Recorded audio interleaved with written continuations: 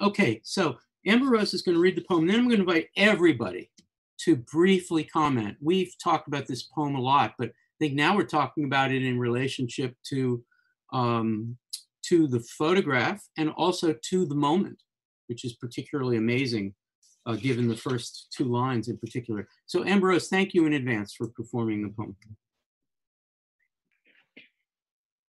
Boy Breaking Glass by Gwendolyn Brooks.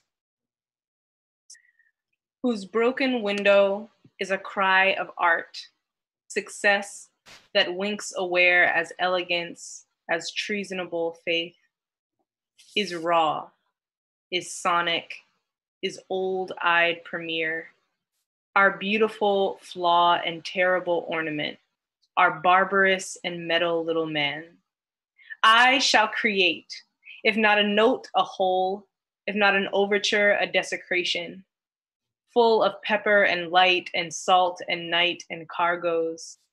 Don't go down the plank if you see there's no extension. Each to his grief, each to his loneliness and fidgety revenge.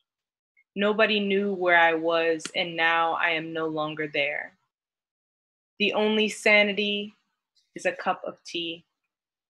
The music is in minors. Each one other is having different weather. It was you. It was you who threw away my name, and this is everything I have for me. Who has not Congress, lobster, love, luau, the Regency Room, the Statue of Liberty runs, a sloppy amalgamation, a mistake, a cliff, a hymn, a snare, and an exceeding sun.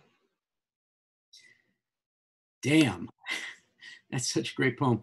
So I'm going to start with Gabe, and I would like um, Amaris to be on deck, second after Gabe.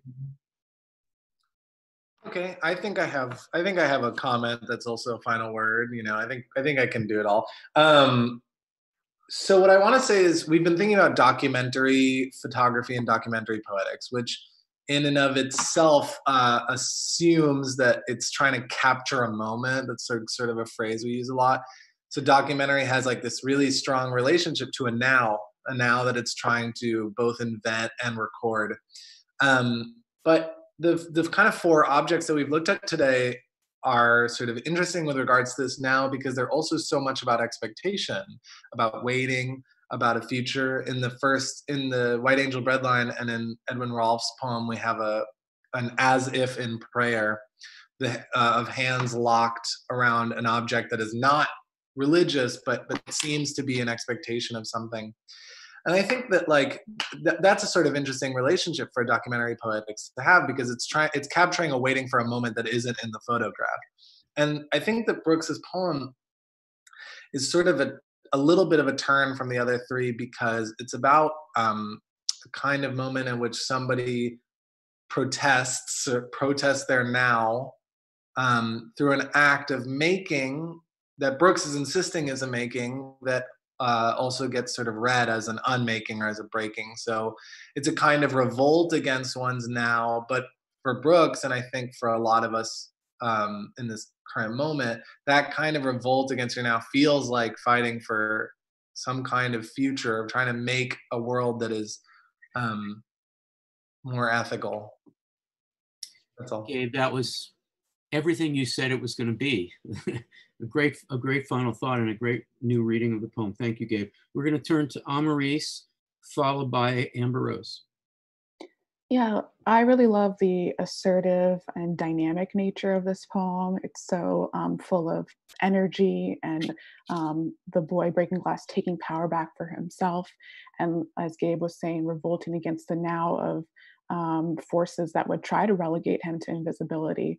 Um, but he takes action in the way that he can. And I'm particularly struck um, by the last stanza where we have um, what seems to me kind of all these symbols of power in a more traditional sense, you know, Congress, governmental power, the lobster material or luxury, uh, material power, um, love, and so forth. Um, versus the power that he um, holds up, which is the power of of music, of art, and of self expression. Thank you, Amaris. That was really wonderful. Amber Rose next, followed by Allison on the phone. I hope she heard me.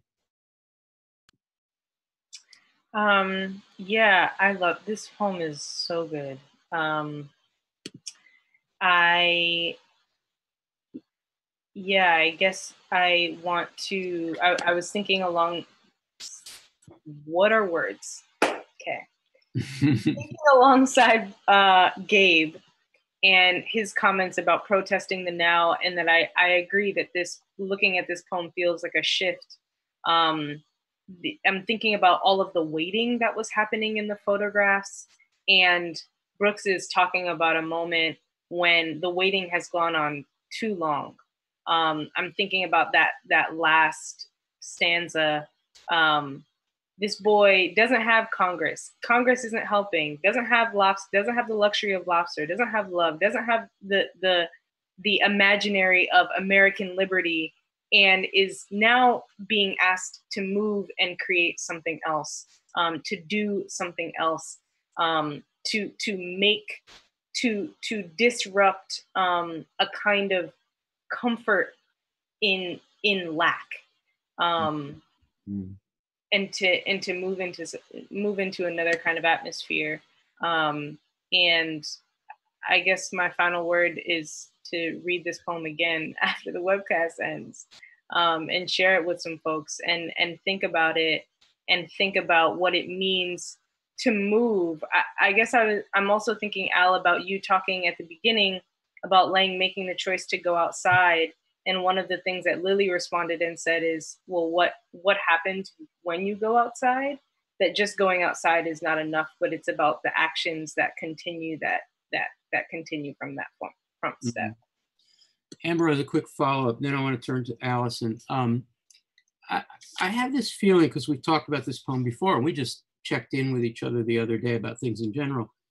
I have a feeling that this poem is inspiring to you um, to do to to you know it's a cry of art. It gives it, it gives a brilliant radical rationale for art as being an, not just an okay thing to do, but a, a responsiveness. Um, so my question is how how how does it inspire if it inspires you? How does it, and what do you want to do with it? Um, yeah, I mean, I think it does inspire me. And more than maybe it inspires me to create art myself, it inspires me to look for art in different places. Um, mm. So I'm thinking about as folks have moved to do more protests, um, the amount of street art that I'm seeing and spray painted signs and spray painted images and folks putting the mark putting their art on building walls, on buses, on backs of backpacks. And there's so much conflicted conversation about how to interpret what we're seeing. And if we return to Brooks and see it as art and think about where that push for this kind of art comes from, it can actually help us think about and understand what's happening in a different and, and crucial light. Thank you, Amber Rose. That was wonderful. Um, Allison, if you can hear me, would you have a thought on the Brooks? Oh, well, Amber Rose, thank you for a wonderful reading and for an even better comment. I mean, it's, it's a tough act to follow, but what I'll say is I, I keep thinking about what Al, when Al opened up this conversation for us um, about the first photo and how he said, I know that maybe there isn't race in this photo, and it made me say to myself, well, it's not really what you can see in this photo in that sense, but it's what you can't see. And so much of our conversation right now about race and about the situation in the United States is all of the things that people sort of choose not to see, or the lens or the photos that they take reflect a very specific kind of reality. And I'll just end with saying that, you know, I think you can't divorce race and capitalism in this country from one another.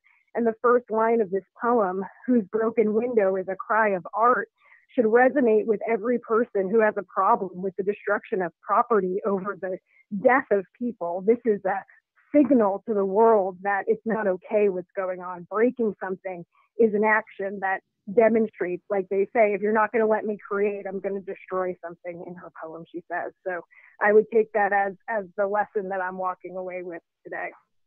Thank you, Allison. Radical as always. And you know, one of the things when you said this, you may have been focusing on what you said and not looking at the gallery view, but I I saw Max light up because I think that's I think he shares the same point of view. So I want to turn to Max and then Kate for a, a thought on Brooks and then a final thought mixed in. My final thought um, on this poem, and I guess our discussion in general, is a little bit inspired by um, your comments at the beginning of the video discussion that was made for this poem, Al, a few years back, which I uh, had the pleasure of your watching earlier today, and also by uh, just having spent uh, the month of May reading Gwendolyn Brooks in my Slopo um, session, uh, my month-long Slopo session with on Brooks, and I was I've just been thinking about glass as the medium of of the sort of like kind brutalist architecture that emerges in the post-war period um, and the kind of public space that that creates in cities and how that contrasts with um, I think the the public spaces that are hinted at, at least in you know we don't quite get the full scope of of the setting of the Lange photos, but there's a sort of commons that's that's hinted at where there's a kind of rabble, potentially a diverse rabble that's allowed to exist and not necessarily or not necessarily in like nice lines that there isn't there isn't this insistence on order um, in those spaces. And i'm thinking of of downtown chicago uh, and chicago in general which brooks wrote a lot about.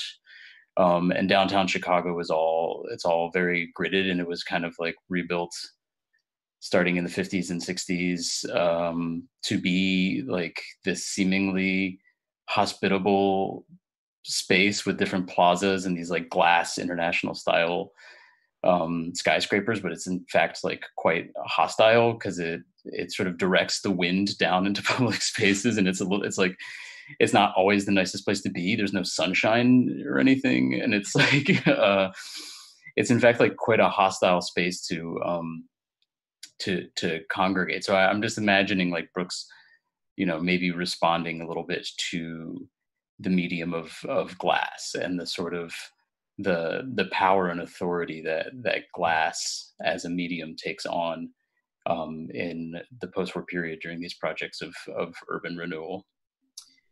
That's a great reading, Max. Uh, it doesn't take much to construe from what you said. Uh, the poem as a meta poem about a certain style of civic building yeah. that needed to have a couple of bricks thrown at it. You know, right. So that's that's strongly implied. I would say. kind of, kind of that style. Thank you, Max from Chicago. Um, Kate Colby, uh, you're next, and then uh, I'd like for uh, Lily to add her final thought after that. I wanted to call attention to another meaning for the word art, which is of intention in the sense of artlessness or artfulness, um, and how the poem immediately in that first line gives agency to the speaker and the committer of this act of breaking glass. Um, and I loved reading it in counterpoint to the Rolfe and the Lange photographs because it's so much about um, individual expression and particularity of experience and of the act committed here. And even though the speaker is nameless and the, and the poem invokes the namelessness of, of, of the boy and also, you know, a wider set of people that he um, represents here, he with the quotations throughout there's this repeated reminder that this is one boy this is one act this is an individual this is you know, a reminder of his particularity. Lovely, thank you, thank you, Kate. Um, I want to turn to Lily, then Kamara. Sorry. Um, well, I wanted to respond a little bit to what Kate just said about um, um, individuality because maybe what I'm going to say is pushing back on it on that, or maybe it reinforces what Kate said. I'm not sure, but um, I was thinking a lot about the pronouns and subjectivity in the poem, and um, I think the pronouns really stick out to me. There's our, you, and your, and I, and my, and they're all used in different contexts, including inside the, the quotation marks. And I've been thinking a lot about um, my reading or interpretation of how the quotation, the stanzas in quotes are used are that maybe it's Brooks almost like throwing her voice and speaking from the boy's um, subjectivity or point of view. Um, and so in in general, I'm just thinking about if we could draw a correlation between the quotation marks, like the quoted phrases, the pronoun use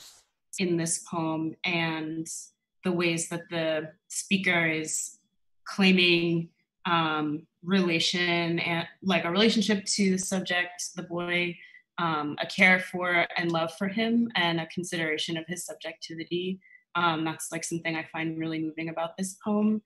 Um, and then just to connect it to what we were talking about earlier in the conversation, um, Sarah talked about um, just some ways that you could see in the White Angel breadline photograph um, some of the photographer's subject, some of Dorothea Lange's subjectivity, or uh, like a foregrounding of the fact that we're using um, the medium of photography, not just like a clear window into what's happening, that you can see the guardrails and some slanted lines and things like that, like that indicate the framing.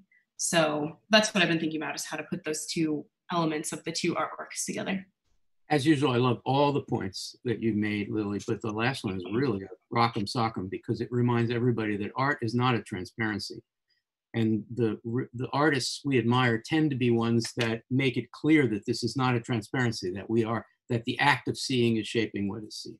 And those guardrails are, in a sense, guardrails against that easy thought. Kamara Brown, your, your, your thoughts on this?